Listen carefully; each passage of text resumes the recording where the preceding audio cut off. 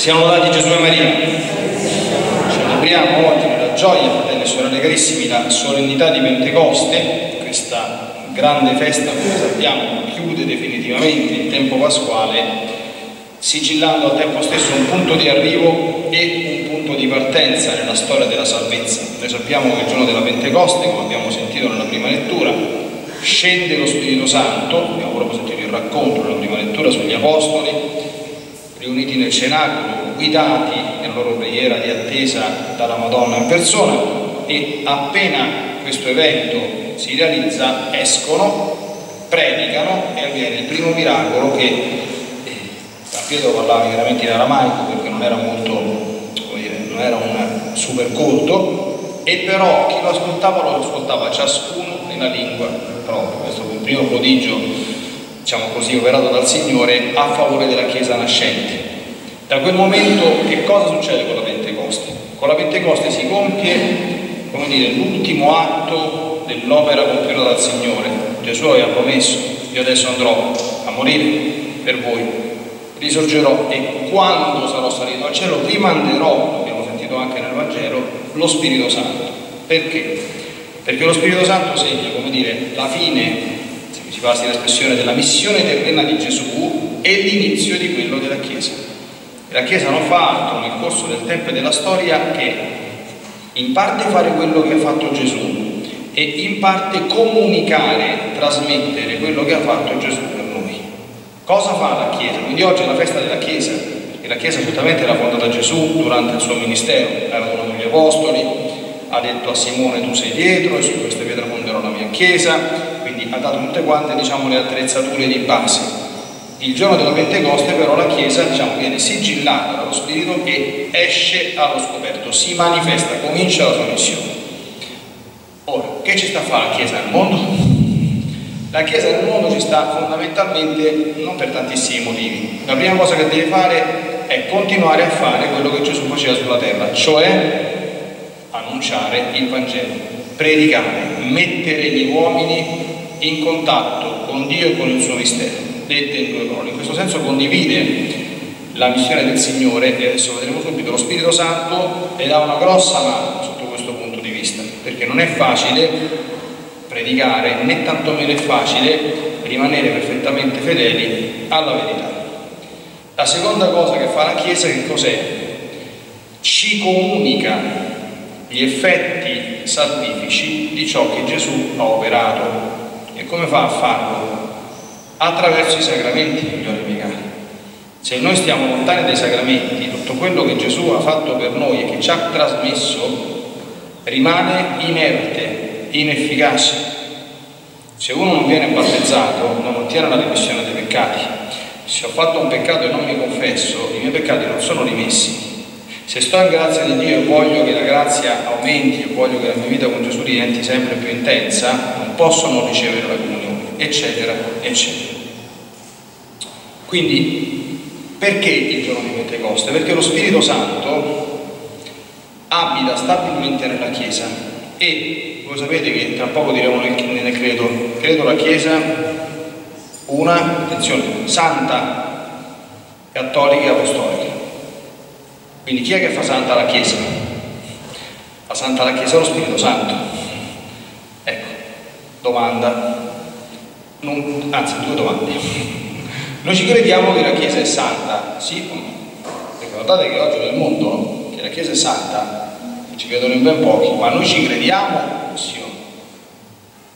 Prima domanda, questo dobbiamo rispondere al nostro cuore, eh? come sempre. Ammesso che abbiamo risposto sì, io ci credo che la Chiesa è santa, ci siamo mai chiesti come mai se la Chiesa è santa sono tutti santi i membri della Chiesa? Siamo tutti santi già, subito tutti, compresi anche qualche ministro sacro? Preghiamo, visto che è successo settimana, e, se non lo sapete meglio, insomma, no? Il Papa sta soffrendo tanto, insomma, sono successe delle cose abbastanza serie nella, nella Chiesa, no? Quindi, come mai che non siamo tutti santi se la Chiesa è santa? Ve lo siete mai chiesti? Perché molta gente dice, la Chiesa è santa, ma quando mai? Ma non le senti le cose che succedono? Dove sta tutta questa gran santità? È una domanda lecita oppure no? E che cosa rispondiamo innanzitutto a noi stessi? Perché poi eventualmente possiamo rispondere anche agli altri. Adesso brevemente, in questo secondo squarcio di tempo che ci resta proviamo un attimo ad approfondire questa cosa, no? Allora, cosa fa lo Spirito Santo nella Chiesa? Lo Spirito Santo nella Chiesa garantisce al 100% alcune operazioni. Su queste state tranquilli che la Chiesa è assolutamente degna di fede. Quali sono? Numero uno, i sacramenti. I sacramenti. Tu puoi stare tranquillo che se trovi un prete e vai a chiedere il battesimo per tuo figlio e quel prete usa il rituale ufficiale della Chiesa, tuo figlio viene battezzato, non devi stare a indagare se quel prete è santo, non è santo, è bravo, non è bravo, è istruito, non è istruito, non fa niente. Capite? Se un prete qualunque celebra la Santa Missa, tu puoi stare sicuro che sull'altare si rinnova il sacrificio di Gesù e quando fai la comunione mangi il corpo di Cristo, non ti rendi conto di fare. Questo non dipende, capite? Quindi queste sono operazioni che lo Spirito Santo garantisce nella Chiesa a prescindere dalle individualità e dalle umanità. Quindi i sacramenti sono la prima cosa che attesta la presenza dello Spirito Santo. E Sant'Agostino mi pare che diceva guarda che sia che ti battezza Pietro, sia che ti battezza Paolo, sia che ti battezza Giuda, o Giuda è, insomma, era tanto, tanto santo, è sempre Cristo che battezza. Quindi stai tranquillo, questa è la prima cosa. La seconda cosa, abbiamo un indizio nel Vangelo. Gesù dice, guardate, adesso vi manderò lo Spirito Santo e Lui vi guiderà tutta la verità. Cosa c'è con certezza nella Chiesa? E guardate che nessuno lo può intaccare, anche se qualche singola individualità può uscire fuori dal coro e cantare cose strane. Nella Chiesa c'è la pienezza della verità, la verità cosiddetta tutta intera. Cioè se io voglio sapere davvero la verità su Dio, sull'uomo, sulla sorte dell'uomo, sulla santità, su quello che voglio, mi leggo il catechismo della Chiesa Cattolica perché? Perché, perché attraverso l'azione dello Spirito Santo viene garantito quello che si chiama il carisma certo di verità che è nella Chiesa esercitato attraverso il Magistero. Quindi quando noi abbiamo una verità di fede, verso una verità di fede, potete stare assolutamente tranquilla che quella cosa è vera ieri, oggi e sempre, affidabile al 100%.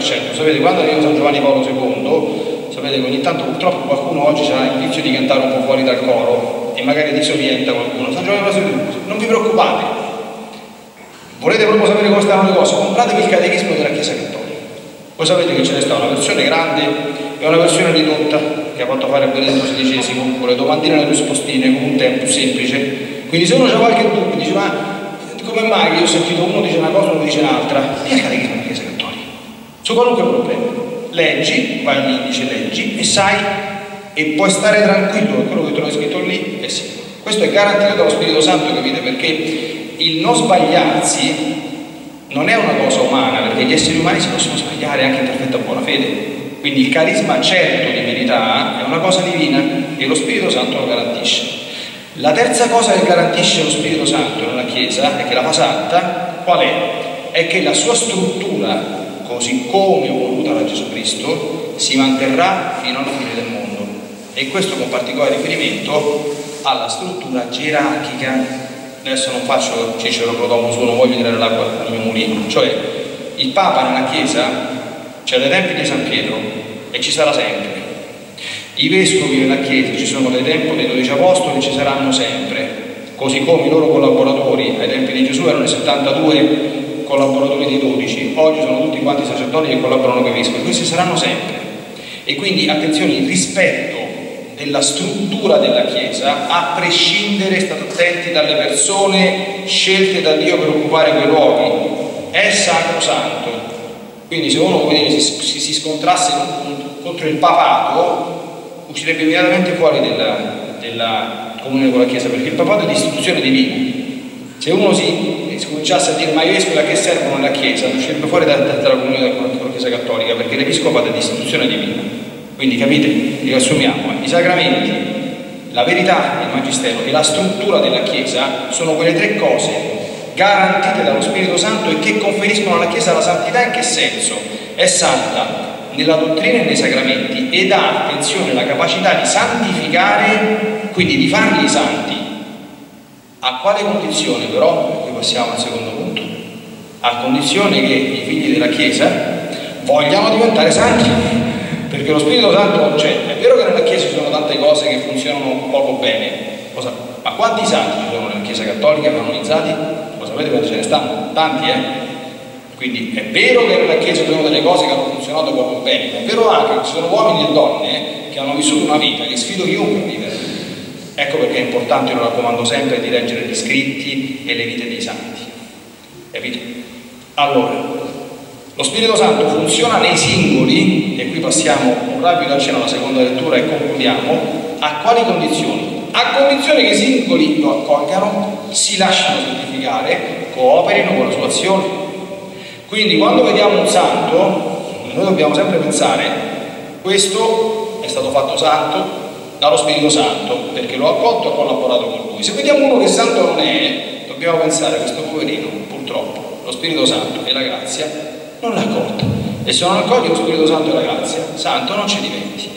San Paolo nella seconda lettura proprio, fa proprio una sintesi proprio chiara chiara.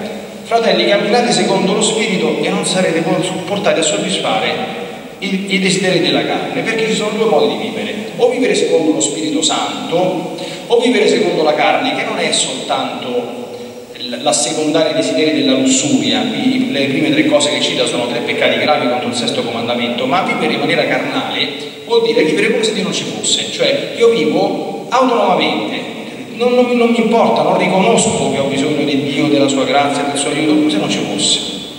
E San Paolo fa l'elenco, attenzione, quali sono le opere delle persone che vivono lontane dall'amore di Dio, che non vogliono lo Spirito Santo?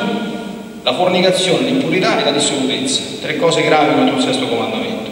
Voi sapete che oggi come ieri e come sempre sarà sempre vero che per volontà di Dio la sessualità umana si vive dentro il matrimonio, tra un uomo e una donna e attraverso il sigillo di un sacramento. Fuori di queste tre condizioni non è licito. Non lo era, non lo è e non lo sarà, non sono cambiate le cose, capite? Ecco. Poi però continua, idolatria, stregonerie, inimicizie, discordie, cioè, quando stiamo sempre a litigare tra di noi, questo è vivere in maniera carnale.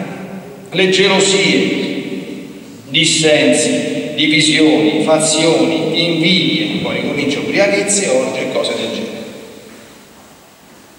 Ok? Quindi dice tutte queste cose, San Paolo dice con un'espressione elegante, dice guardate che vi ho già detto che tutte queste cose chi le compie non erediterà il regno di Dio, questo è un modo elegante per dire quello che in maniera meno, meno elegante si dice che va dritto a, al piano di sotto, non erediterà il regno di Dio significa ereditare il regno di qualcun altro, no? Quindi, e qui entra in causa, capite, la libertà dei membri della Chiesa, cioè la Chiesa insegna non basta essere battezzati e fare parte del corpo visibile della Chiesa, occorre farne parte bene, occorre imparare a usare bene i sacramenti, occorre imparare a pregare perché lo Spirito Santo è efficace in noi tanto quanto preghiamo, occorre disporsi ad osservare la legge di Dio, non uscire dalla sua legge, occorre essere obbedienti alle autorità della Chiesa, c'è tutto quanto un insieme di cose che porta la persona singola alla santità. Quello che rimane vero è che se uno vuole raggiungere la santità dentro la Chiesa santa, perché è abitata dallo Spirito Santo, sposa di Cristo, trova tutti i mezzi per diventarci. Nonostante, e su questo bisogna che comprendere insomma, le miserie umane, la non perfetta coerenza di alcuni suoi membri, che non intacca però la santità della Chiesa, capite? Perché ripeto, a chi oppone tanti cristiani vivono peggio dei pagani, si può opporre, sì, ma tanti cristiani sono diventati santi e nessuno è giunto a quelle vette di vita come loro, capite? Quindi questo perché? Quelli sono diventati santi che provano che lo Spirito Santo agisce opera nella Chiesa, quelli che danno cattivo esempio provano che la nostra libertà è un fatto reale e se lo siamo male Dio ci lascia liberi, non la violenta e santi non ci diventiamo. Chiediamo a Maria Santissima, sposa dello Spirito Santo, e madre della Chiesa, voi sapete che domani festeggeremo, trovate sul bollettino per la prima volta la memoria obbligatoria di Maria, madre della Chiesa, voluta dal Papa in ricordo della presenza di Maria Santissima al giorno della Pentecoste e per sottolineare la funzione materna che ella incessantemente opera per i suoi figli e la causa grandissima che ha nella santificazione di ciascuno di noi. Lei è la piena di grazia, la sposa dello Spirito Santo e quanto più ci si lega e si è devoti alla Madonna, quanto più lo Spirito Santo agisce ed opera in noi. Siamo lodati Gesù e Maria.